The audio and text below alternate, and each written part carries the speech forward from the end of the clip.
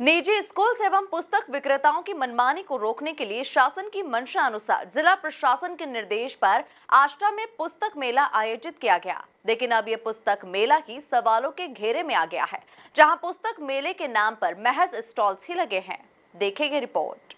मध्य प्रदेश में private schools की मनमानी और लूट पर लगाम लगाने के उद्देश्य से प्रदेश सरकार हर ज़िले में पुस्तक मेले का आयोजन कर रही है। और उक्त पुस्तक मेले के अंतर्गत स्कूली बच्चों के अभिभावकों को किताब, कॉपी, यूनिफॉर्म, स्कूल बैग सहित अन्य उपयोगी सामग्री न्यूनतम दामों पर उपलब्ध करा रही है। इसी को लेकर शिक्षा विभाग ने आष्टा के उत्कृष्ट स्कूल में तीन दिवसीय पुस्तक मेले का आयोजन किया है। लेकिन जिस तरह से ये पुस्तक मेला आयोजित हो रहा है, अब सिर्फ़ रस्म अदायगी और खाना पूर्ति ही दिखाई दे रहा है। जिससे हर बार की तरह इस बार भी स्कूली बच्चों के अभिभावक अपने आप को ठगा सा महसूस कर रहे हैं। लिहाजा तीन दिवसीय पुस्तक मेले का पहला दिन फ्लॉप शो बनकर रह गया। तो सभी दिशा निर्देश हमारी ओर से आशासकीय शालाओं को मतलब प्रेषित किए गए और जो एक हमने यहाँ पे स्थानीय स्तर पे ग्रुप भी बनाया है।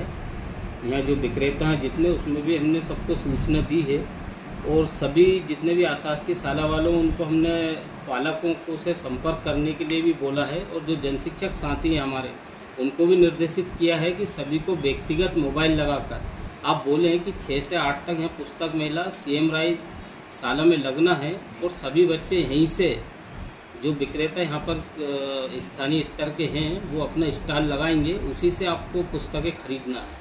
कुल मिलाकर देखा जाए तो आष्टा में लगा पुस्तक मेला महज एक दिखावे के रूप में सामने आया है। Bureau report, MP news, Ashta.